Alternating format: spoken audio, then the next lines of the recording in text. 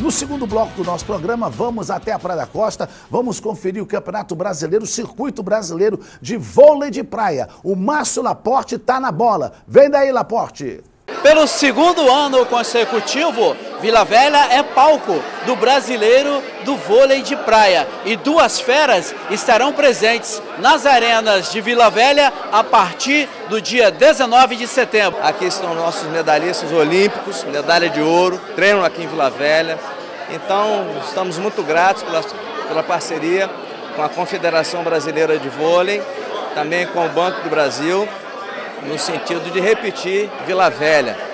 Ano passado disseram, não se faz em capital, mas Vila Velha é a capital mundial. Esse ano falaram, não se repete a cidade.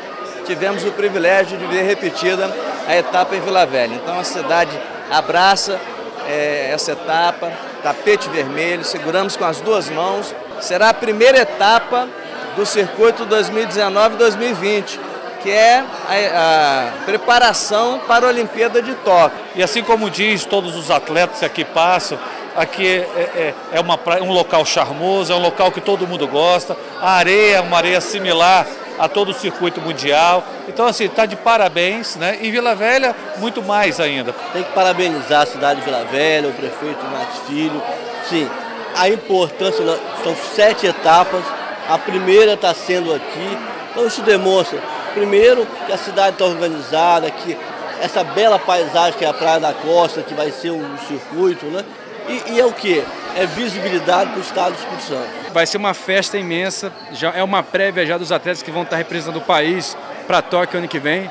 Então é, vai ser um privilégio receber essa primeira etapa aqui em Solos Capixaba, na Praia da Costa. Compareçam. E mais um grande evento acontecendo em Vila Velha, na cidade de Canela Verde, agora na Praia da Costa, né, Laporte? Com um detalhe, Ferreira Neto. Ninguém conseguiu esse feito de Vila Velha. E ontem o prefeito Max Filho exaltou esse feito. Qual seria?